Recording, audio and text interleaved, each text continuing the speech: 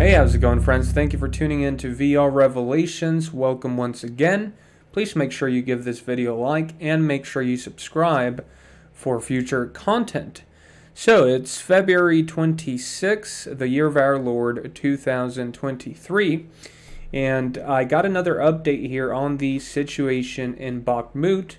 Uh, we're going to be reading from two articles here one from DW News, which uh, I believe is a German uh, news source. Um, they are pro Ukrainian um, and pro Western.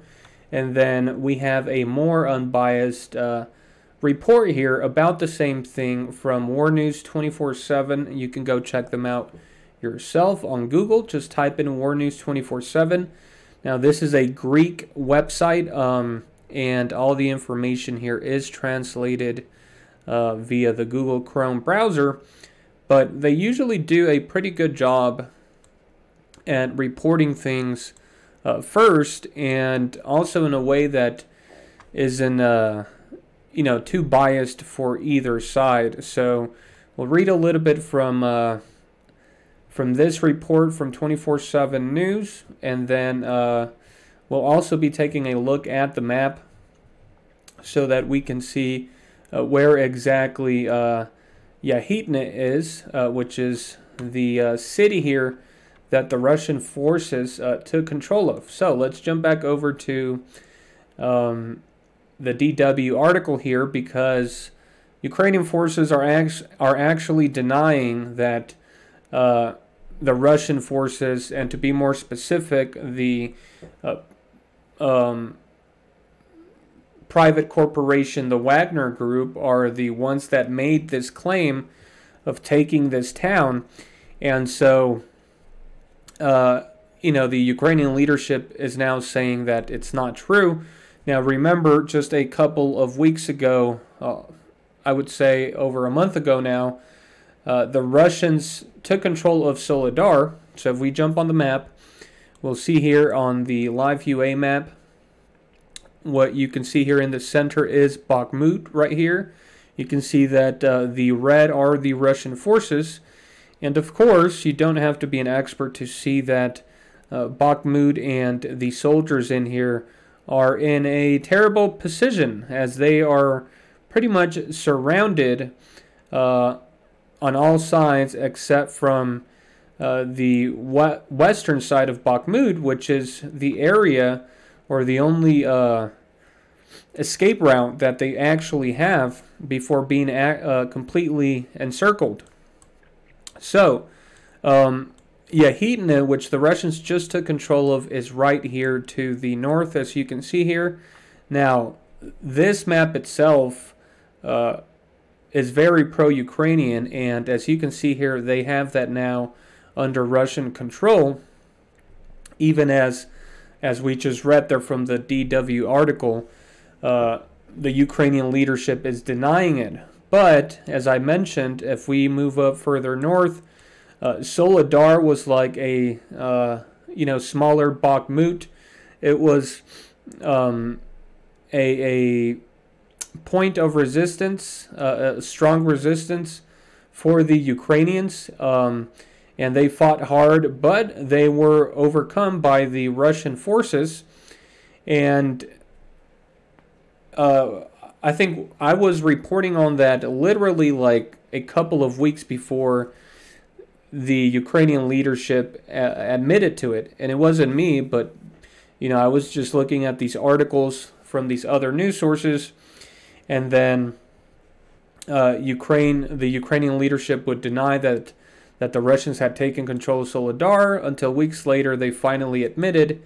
And as you can see now, uh, the Russians are far past that now. So uh, I'm pretty much applying that to Bakhmut. So uh, if if the Ukrainian leadership is denying that uh, the Russians have Yahidne, then they probably are already well past that point.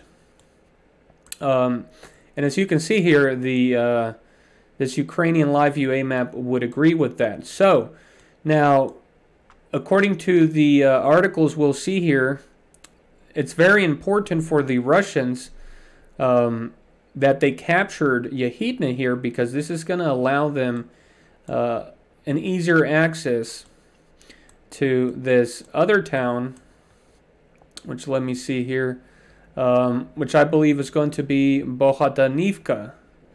So you have Yahidne right up here to the north, and then actually no, no, that's that's incorrect. Let me go to this other map. This one actually has the uh, spellings here. Okay, so here it is. So uh, as you can see here, this is Bakhmut. Right up here on this map is Yahidne, which the Ukrainians are claiming the Russians still haven't uh, taken control of.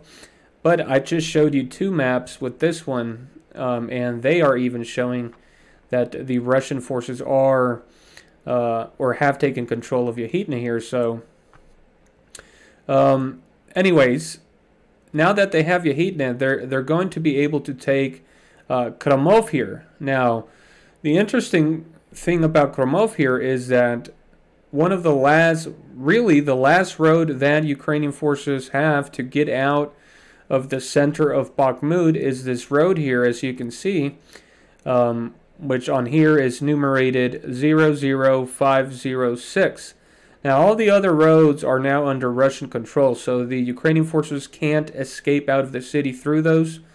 Um, the one of the uh, last ones they they had access to here was uh, this this yellow one here, uh, zero five zero four. This road, but now that's not even safe because you can see the Russian forces to the south of Bakhmut here are pushing uh, quite rapidly towards Chasiv Yar over here, and so um, they're actually pretty close here to to this road. So that's not really an option anymore for uh, the Ukrainian forces here. So now, really, their only option here is this road. But now that Ru- that the Russian forces have taken control of Yahidne here to the north, it's going to allow them to quickly move on uh, uh, here, which you can see that what that's going to do to the Russian forces. It's pretty much going to uh, trap them, right? Because if the Russian forces push from Yahidne here now to Kromov, um, the uh, uh, Ukrainian forces will they won't have any way of escape because if they try to go down here southwest, they're going to run into the forces pushing from the south already, and so they either have to get out now, and really that's just going to come down to Zelensky giving an order or Zelensky is going to be too proud and he's going to let his men die, or uh, hopefully to the to the Ukrainian forces' benefit, become at the very least prisoners of war. Uh, but yeah, the, I mean, we're talking about a you know hours and days here um, before these uh, before Bakhmut is surrounded, and looks like this is going to be a you know, multifaceted uh, sort of maneuver here to, you know, hit Ukraine with with a big, uh, you know, with a, a big offensive here because they've moving quickly here from the south of Bakhmut, surprisingly, and they're close to reaching Chasiv Yar right up here, which was supposed to be like the next good defensive position for the Ukrainian forces. I believe Chasiv Yar is actually higher elevated, so it's a good vantage point to attack the Russian forces once they take Bakhmut. But for a while now, the Ukrainian forces have been pushing from the south here towards Chasiv Yar to cut off that capability. So really, once they uh, encircle the Ukrainian forces here and take them prisoner or destroy them, or if within the next couple of hours Zelensky gives the order uh, then uh, to move the Ukrainian forces out, then they will at least survive. Uh, but either way, it's going to be the same outcome, minus the loss of life, of course. The Russian forces are going to take control of this. They'll probably want to push just as quickly to Chasiv Yar here. And uh, yeah, I think all this is just going to start collapsing in here. We'll probably see uh, and even a bigger focus next here on Seversk And then as all this is just unfolding here, it's just going to create momentum for Russia to attack Kramatorsk and Slavyansk, which I believe uh, would uh, culminate the objectives uh, that the Russians have in this region here. But again, that might not necessarily be the end of the war since uh, Ukraine and its allies are vowing to fight until they regain all of uh, all of the land back, which would be all of this in red here. So Ukraine is claiming they're not going to stop fighting until uh, they regain all of this, which is now legally part of Russia, and the U.S. says that they're right behind them. As a matter of fact, they're actually cheering them on and preventing them from even going to the table to talk about negotiations. And so, the you know these are now legally part of Russia. So we're talking about a World War III scenario here, but it's not going to go that far. I don't believe uh, Russia is just too powerful for Ukraine. And again, the U.S. has been supporting uh, Ukraine a lot, of course, through uh, NATO. Um, but uh, it's not enough. They're not going all in, and that's kind of what Ukraine is hoping for. Uh, but you can see that the U.S. is just really not that confident in uh, in Ukraine, and so again, I think that's sort of like the writing on the wall, right? That they are going to allow Ukraine to fall here to the Russians. And uh, Zelensky will probably be expelled. But, anyways, let's go ahead and read a little bit more here. It says Russian forces have so far failed to capture the village of Yahidne in eastern Ukraine as part of efforts to take the city of Bakhmut, Kiev said Sunday. The general staff of the Ukrainian armed forces contradicted the Russian mercenary group Wagner, which had claimed the capture of the village in the Donetsk region. Wagner chief Yevgeny Prigozhin said Saturday that his unit had taken Yahidne after a similar claim over the nearby village of Berkivka a day earlier. It is not possible to independently verify these claims. Uh, you know, every Western news source always says this when they're reporting on, uh, you know, Russian uh, Russian statements. But whenever it's Ukraine, they don't even bother. They just accept it as you know the absolute truth. Which again, this is uh, this this is all propaganda. So. Uh, Kiev said Russian troops were continuing their offensive around the town of Bakhmut in a war of attrition that has been going on for months but a military statement spoke of unsuccessful offensives by Russia in six areas in Donetsk, including Barkivka and Yahidne. Although Russian troops have made progress in encircling Bakhmut in recent weeks, they have yet to take the city. That's because Ukraine has also been putting a lot of forces. They've made quite a big deal out of this city, and because of that, it's going to be a major loss uh, and a tactical error on Zelensky's part, who was actually warned by the United States a couple of weeks ago to pull his forces out of Bakhmut uh, before falling in a disastrous situation. And so he could save his forces for later, but Zelensky chose to uh, act against that counsel by the U.S. And uh, exactly what they said was going to happen is happening, so it's going to be a blunder on his part. Anyways, after the war this week moved into its second year, Dara Massicot, a senior policy officer at the RAND Corporation, said Russian troops face two major hurdles that they hadn't foreseen at the start of the campaign. One is Ukrainian resistance, Mazikot told CNN, adding, The Russians are also unable or unwilling to interdict Western support. They're they are adjusting a little bit, but I don't think they can overcome those larger issues.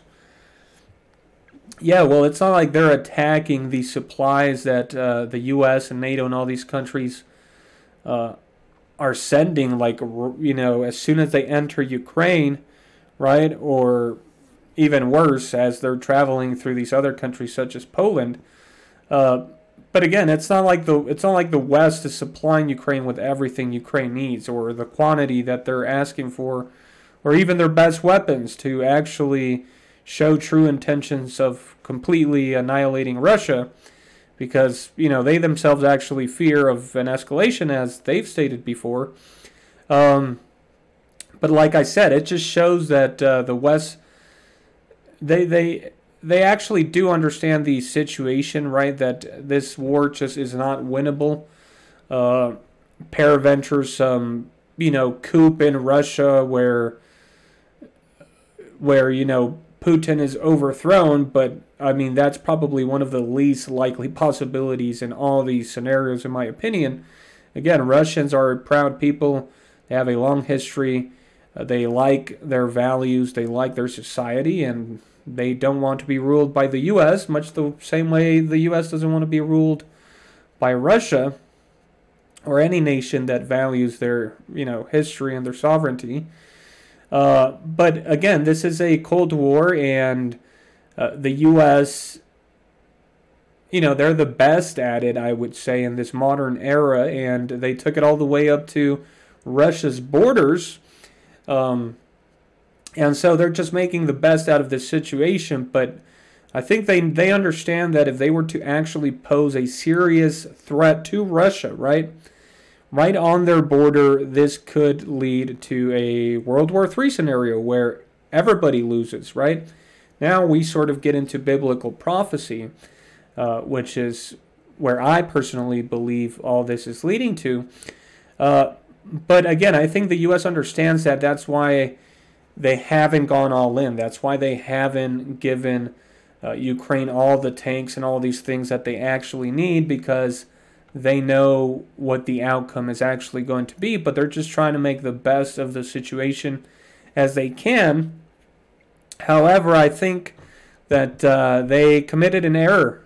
They committed an error in all of this and they miscalculated, and I think that's sort of what puzzles people why are they making these decisions? The only foreseeable outcome with a war against a nuclear superpower is, you know, nuclear war, Armageddon, the end of times.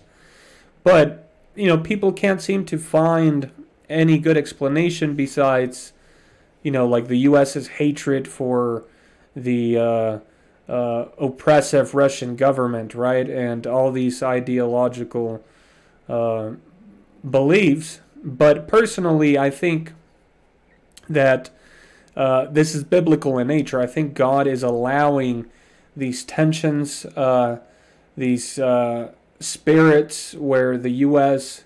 opposes Russia and Russia opposes the U.S. and their culture and everything. And so, you know, it's all going to lead to actual biblical uh, prophecies, right? You know, if, if you believe in, in the scriptures, you understand that God is in control of all the nations, and that they uh, eventually are all working to fulfill the biblical prophecies, right, concerning the end of days. So that's sort of the uh, uh, the spiritual biblical angle that uh, I look at this whole thing with, and it makes sense to me. And again, Vladimir Putin uh, you know, he's he's sort of gotten very uh, spiritual as of lately in these major speeches. He starts reference. Uh, he's been referencing the Bible uh, and Jesus. Actually, he's quoted Jesus from the Bible, and this is something you would expect out of the U.S., right? Who is a Christian nation, whether you like it or not. Just go look, go look at the population of Christians against atheists, against other religions you know, people like to debate this, but the U.S. is a Christian nation. It says it on the dollar, and it's not talking about Zeus, it's talking about Jesus Christ. That's why judges, uh, government officials mostly swear on the Bible. Um, again, it's it's no mystery that it started as a Christian Protestant nation.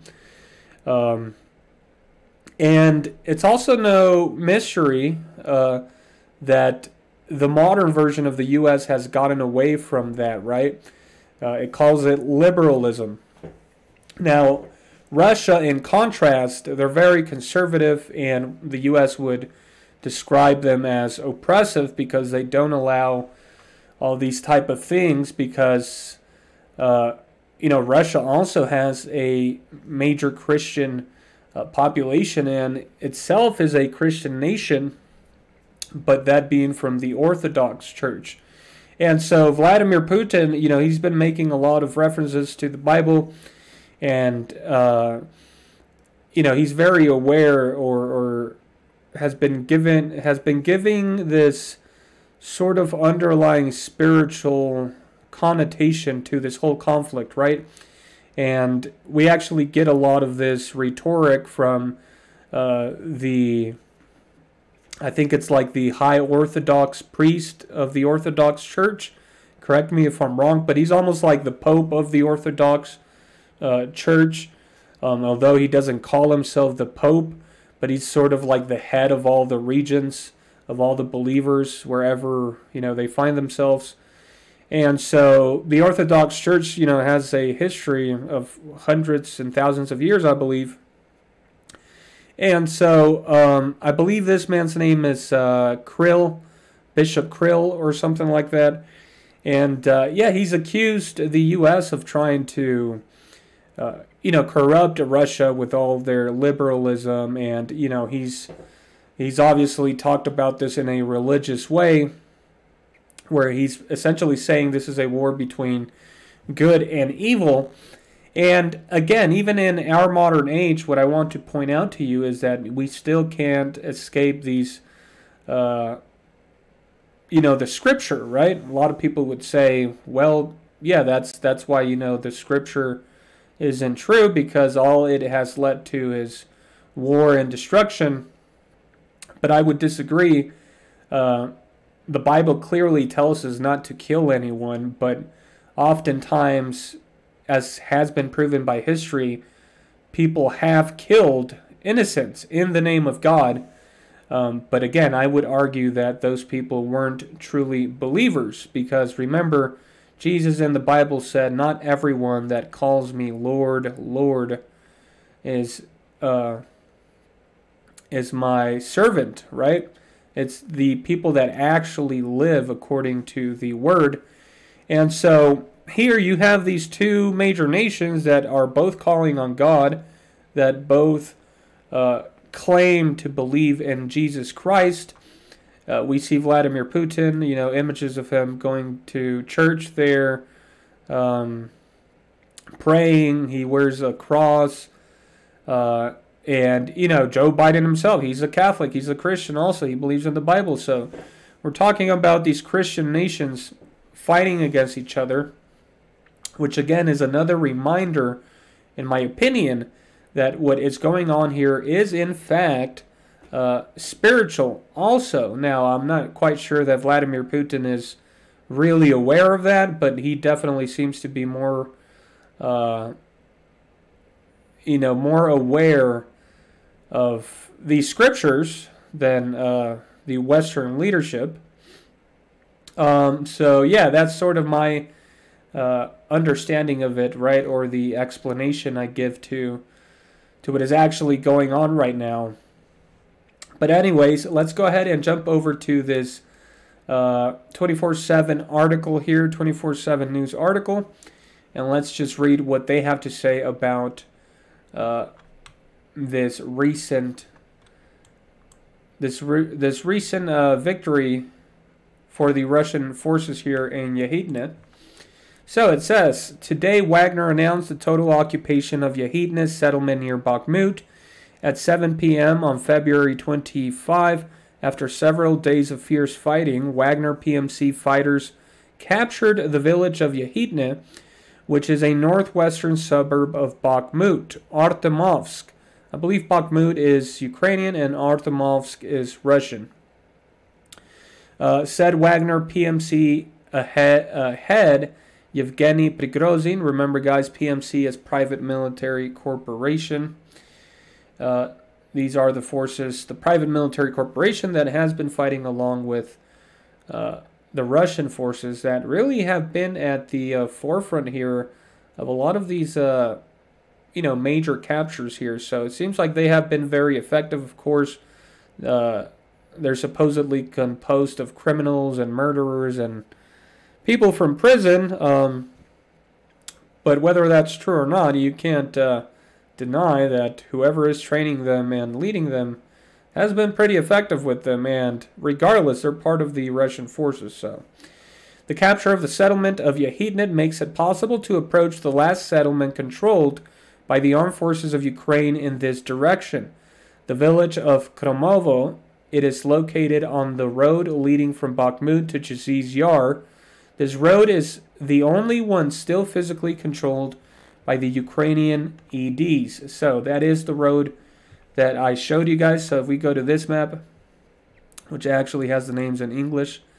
So we can see here Bakhmut right here. This is where all the action is taking place right now. We can clearly see here Yahidne right up here. It's now under the control of the Russian forces. So what this is going to allow them, uh, even better than just you know giving them a different angle of attacking the forces in the center here, is to actually move on to this village here of Kromov. And if you look closely, you can see there's a road or highway, whatever it may be here, but it's a road that is labeled 00506. Now, this is the last actual road, um, you know, physical pa- pavemented road here that the Ukrainian forces in the center of Bakhmut here uh, have to escape. Um, all the other roads or highways are pretty much under the control of the Russians. You can see here, again, they had access to this one on the south, but that is now too risky. So if the Russians move, they're going to start moving here to towards Kromov.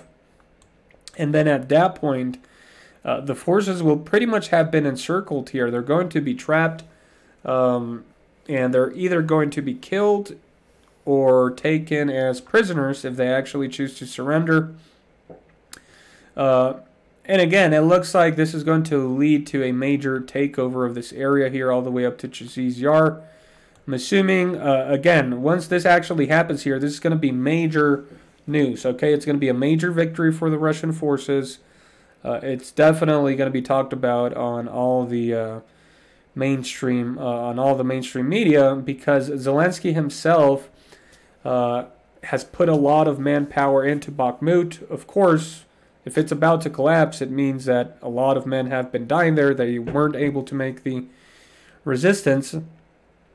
And so it's going to be a big blunder on Zelensky's part uh, because, again, the U.S. warned him to pull out of Bakhmut uh, weeks ago, if not months ago, and he decided to double down, calling it an impregnable uh, fortress, I believe. Uh, making a big deal out of it, saying that they would fight to uh, to the end there, and so again, that's only just going to uh, demoralize the Ukrainian troops, and it's also going to demoralize all these other nations that uh, are supporting Ukraine. Right? Eventually, they are going to realize that this war is not winnable, and so. Uh, I think that support is pretty much already non existent if you think about it. Uh, we're talking about these tanks arriving months from now, and uh, Ukraine is literally in need of like thousands of tanks and artillery and jets. Not months from now, literally now. And they're only getting a couple of things months from now. So just doesn't make sense unless they understand that this uh, conflict here is not winnable unless they're looking to, uh, you know, initiate the end of the world. But uh, yeah, let's read a little bit more here. It says the capture of the settlement of Yahidnin makes it possible to approach the last settlement controlled by the armed forces of Ukraine in this direction. The village of Khromovo. It is located on the road leading from Bakhmut to Chasiv Yar. This road is the only one still physically controlled by the Ukrainian EDs. It should be noted that what happened significantly affects the operational situation in the entire northern sector of the front in this area. The command of the armed forces of Ukraine tried to maintain the defense of the line Dubo Vasilievka, Yahidne Stupki railway station in Artemovsk, or Bakhmut. After retreating from Berkovka the previous day, however, Ukrainian troops were unable to withstand the Russian onslaught despite the transfer of additional forces. Now, the garrison of the armed forces of Ukraine, located in Artemovsk or Bakhmut, is in a difficult position. The encirclement ring around the city shrunk significantly. So, again, I'm going to leave it there, guys, but you can see here uh, that uh, Zelensky is going to have to give the order now. And it looks like he's about to suffer a major defeat here in what he called an impenetrable fortress. Anyways, that's going to be it for this video, guys. Thank you for tuning in. I am trying to make uh, more videos here. I know I've slowed down the last couple of days, but uh, my shift switched uh, in my day job, so I might be releasing these videos a little bit later in the day, but I'll try to, uh, you know, update you guys as much as I can. Uh, I sure would appreciate it if you support the video, giving it a thumbs up and subscribing, and also checking out the links below in the in the description. Thank you for tuning in. Remember, the truth is stranger than fiction. Have a wonderful day, and God bless.